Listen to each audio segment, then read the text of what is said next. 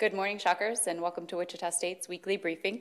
I'm Tracy Freese, Director of Communication for Research and Tech Transfer.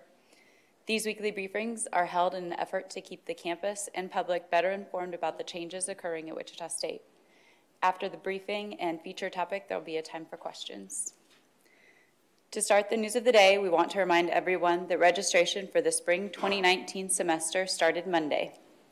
Those interested in enrolling can visit the registrar's office website at wichita.edu slash registrar to access the course schedule, enrollment instructions, and other useful information. The spring 2019 semester also marks the launch of a new undergraduate degree option.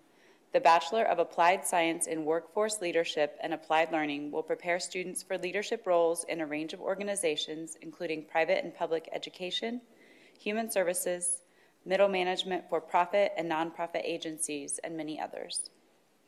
This degree is designed to op optimize opportunities for students graduating from two-year programs, such as those offered by WSU Tech and community colleges, to pursue a bachelor's degree. We are proud to be only one of a handful of institutions in the country to offer a program like this. This program aligns with our strategic plan and represents our commitment to developing innovative degrees that meet the challenging needs of students and employees.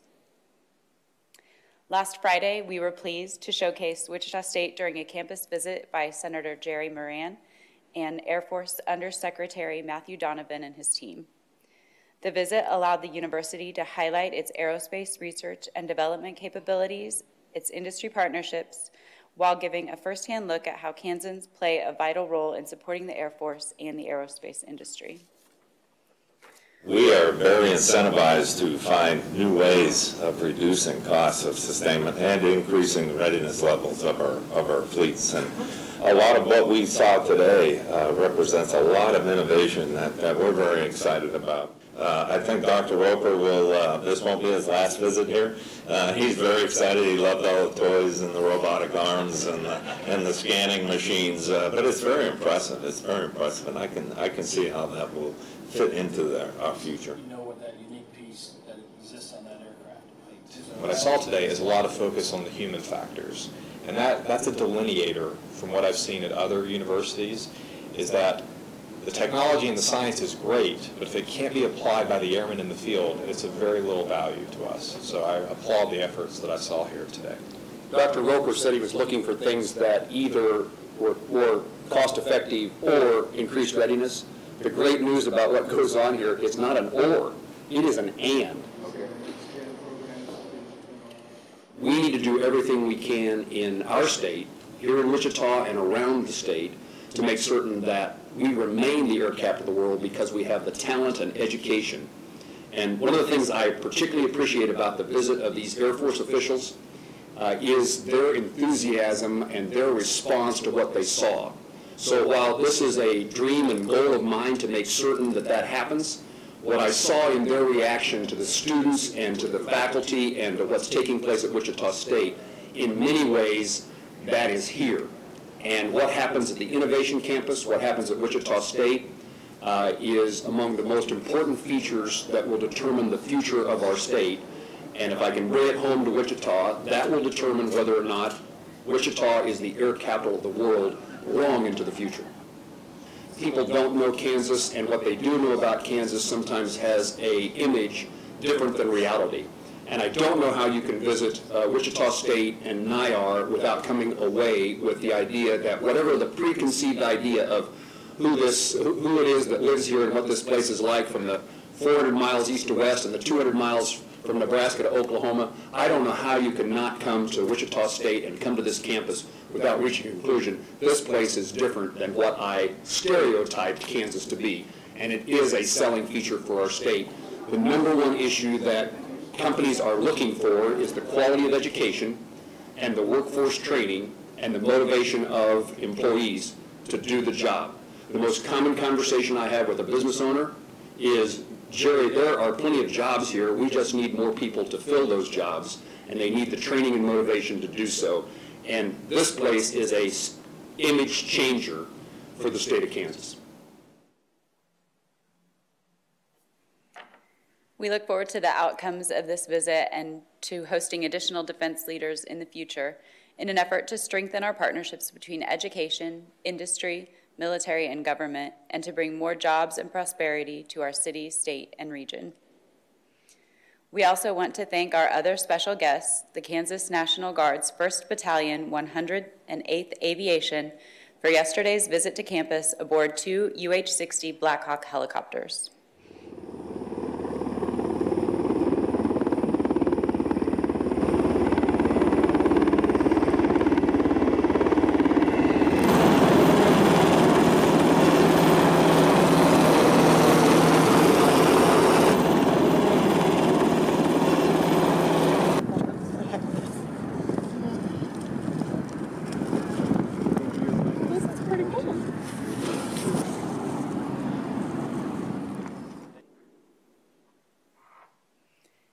It was a great experience having community leaders, the university, and the community come together to learn about the Kansas National Guard, its people, and the role they play in protecting the security, health, and safety of Kansans.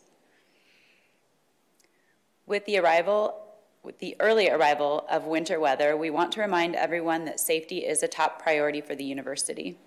Wichita State provides several ways for you to get timely information regarding weather and safety.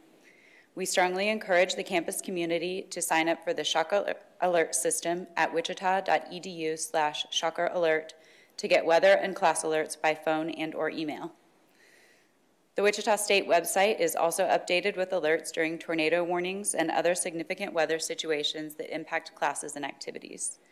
You can call the activity line slash weather and class status at 316 978 6633 option 2 or you can visit Wichita State's official Facebook and Twitter pages.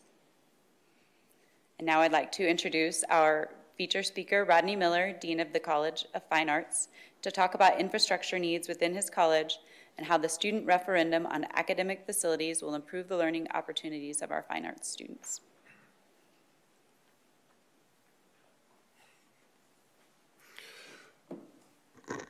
Good morning. Black Hawk helicopters are a little bit of a hard act to follow, but I'll try.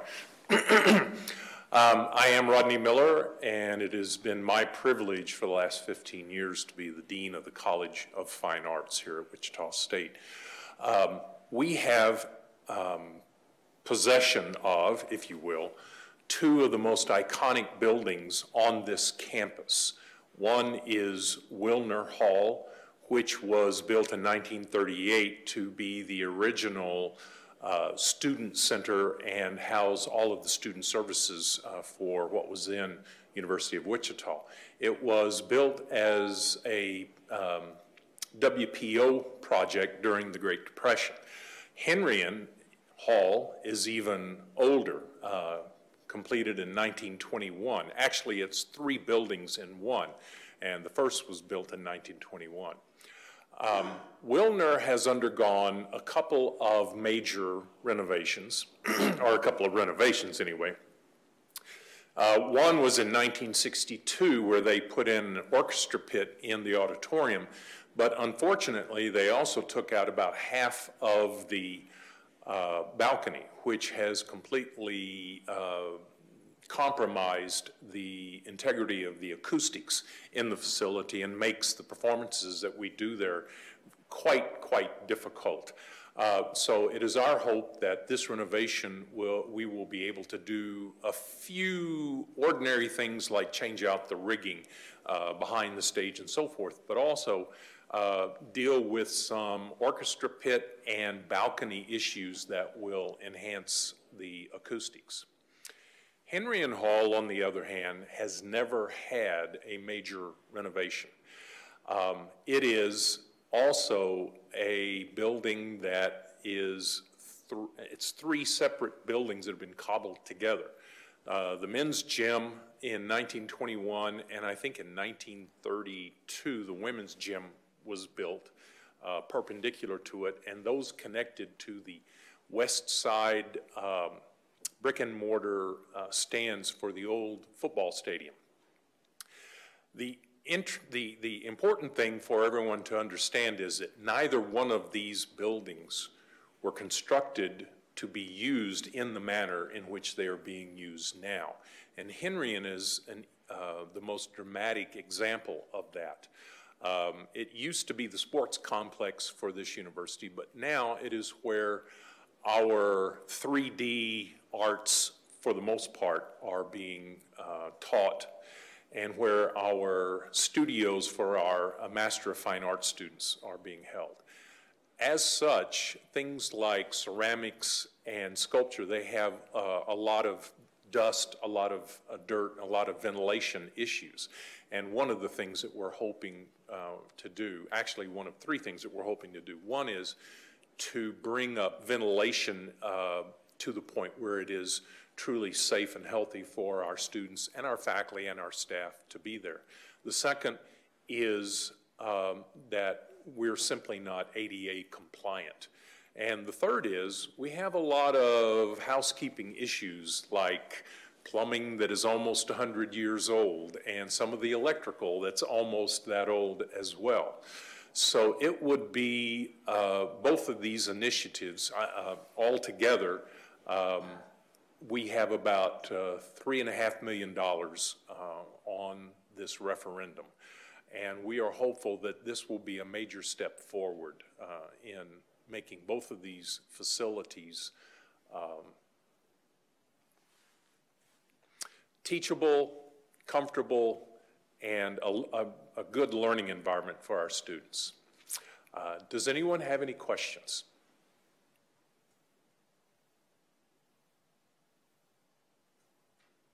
All right, thank you very much.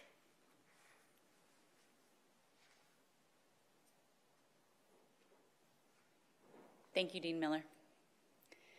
At this time, I'll take questions um, from any of the topics that we talked about today or any general topics. Okay. If there are no questions, uh, we want to thank you for coming to today's briefing. If you're on campus next week, we want to remind you that classes will only be held on Monday and Tuesday.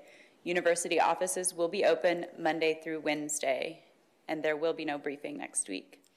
In closing, we want to remind you of WSU's vision and mission, the vision to be internationally recognized as the model for applied learning and research, and our mission to be an essential educational, cultural, and economic driver for Kansas and the greater public good. We hope you have a happy and safe Thanksgiving, and we'll see you next week at the briefing on Thursday, November 29th.